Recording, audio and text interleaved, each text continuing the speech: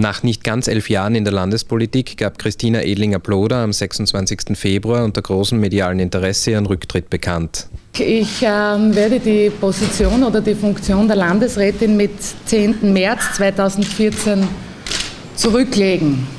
Als Grund für ihre Entscheidung nannte die Landesrätin die anstehenden großen Weichenstellungen in ihrem Ressort, die über das Jahr 2015 hinausreichen. Es werden aber die Arbeiten zum Budget 2015 noch notwendig machen, sich über eine mittelfristige Budgetplanung Gedanken zu machen.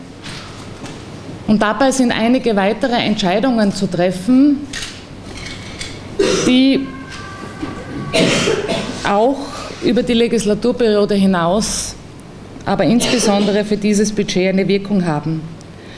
Und deshalb habe ich mich entschlossen, als eine, die 2015 sich nicht mehr der Wahl stellt, in diesen Tagen zu sagen, dass ich das Amt zur Verfügung stelle und dementsprechend auch diese Möglichkeiten offen lasse, Entscheidungen für die Zukunft äh, von jenen zu treffen, die diese auch umsetzen und mit aller Kraft mittragen. Auf ihre Zeit als Landesrätin blickt die 42-Jährige positiv zurück. Ich darf dazu sagen, ich habe kein Jahr und keinen Tag bereut.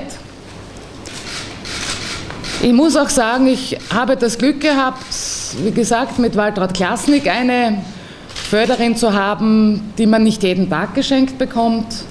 Ich habe aber auch das Glück gehabt, im Jahr 2010 die Geburt der Reformpartnerschaft zu erleben und dabei sein zu dürfen, wie dieser neue Anspruch und diese Vision für das Land paktiert wurde.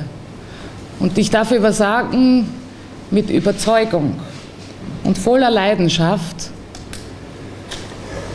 stehe ich für dieses Thema und wünsche mir auch, dass diese Reformpartnerschaft weiterhin den Mut und die Aufrichtigkeit und die Kraft hat, für dieses Land das Richtige zu tun. Abschließend bedankte sich die scheidende Landesrätin bei den anwesenden Journalistinnen und Journalisten.